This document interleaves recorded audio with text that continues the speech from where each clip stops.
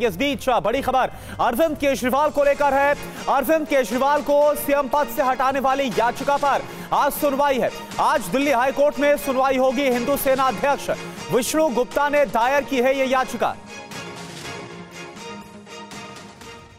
और दिल्ली जल बोर्ड कथित घोटाले में आज सुनवाई है। दिल्ली के राउज एवेन्यू कोर्ट में होगी सुनवाई। कोर्ट ने ईडी की दायर चार्जशीट पर संज्ञान लिया है। आरोपी देवेंद्र मित्तल, तेजेंद्र पाल को कोर्ट का समन और साथ ही जगदीश अरोड़ा, अनिल अग्रवाल को भी पेशी के लिए समन जारी किया गया है।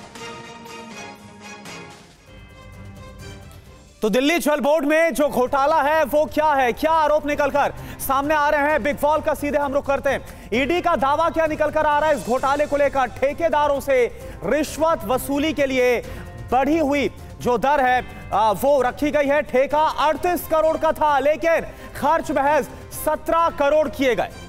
बिल्कुल फर्जी खर्च, रिश्वत और चुनावी फंड के लिए किए गए थे, यानी कि जो अलॉटेड अमाउंट था और जो खर्च था, उसमें एक बड़ा अंतर। और ये सारा कुछ जो स्कैम हुआ, वो उससे जो फंड बना जा, बनाया जाना था, वो चुनाव लड़ने के लिए बनाया जाना था, ये भी आरोप है। बोर्ड एनबीसीसी अधिकारी और एनकेजी इंफ्रास्ट्रक्चर की इसमें साठ घाट रही है, ये भी ईडी का दावा है इस स्कैम को लेकर। और देखिए, आरोपी जगदीश अरोड़ा को नकद और बैंक खाते में रिश्वत दी गई।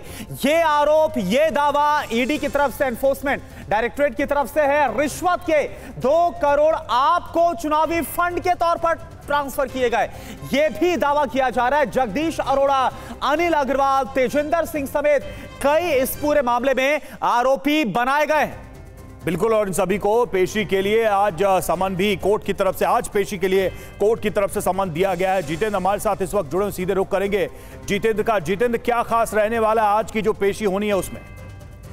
बिल्कुल, देखिए मामला जो है दिल्ली जल बोर्ड से जुड़ा हुआ है, जिसमें कि इलेक्ट्रोमैग्नेट फ्लो मीटर लगने से साथ ही जो है बिल की वसूली का मामला था। भले ही जो कंपनी है, उसमें जो आरोपी बनाए गए हैं, वो एनकेजी कंपनी एनबीसीसी के और जल बोर्ड के अधिकारी हैं, लेकिन अप्रत्यक्ष रूप से जो मामला है, ये भी आम आदमी पार्टी से जुड़ा हुआ है, क्योंकि इसको लेकर के हाल ही में जो फरवरी में रेड डली थी, इसमें आम आदमी पार्टी के जो नेता हैं, उनके यहाँ भी रेड डली थी। और ये कहा गया कि जो रिश्वत का पैसा था, उसका इस्तेमाल पार्टी फंड के लिए किया गया।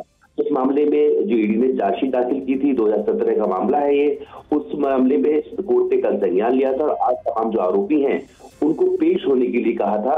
तो ऐसे में आम आदमी पार्टी की मुश्किल इसमें पड़ सकती है, क्योंकि भले ये मामला जो है, इसमें गिरफ्तारियाँ हुई थी, वो दिल्ली जल बोर्ड के पूर्व कर्मचारी थे, बड़े पद के अधिकारी थे एनकेजी कंपनी के थे एनबीसीसी के थे, लेकिन जो रेट पड़ी थी, उसमें आम आदमी पार्टी के नेता भी जुड़े हुए थे। शुक्रिया जितेंद्र आपका इस जानकारी के लिए इस अपडेट के लिए।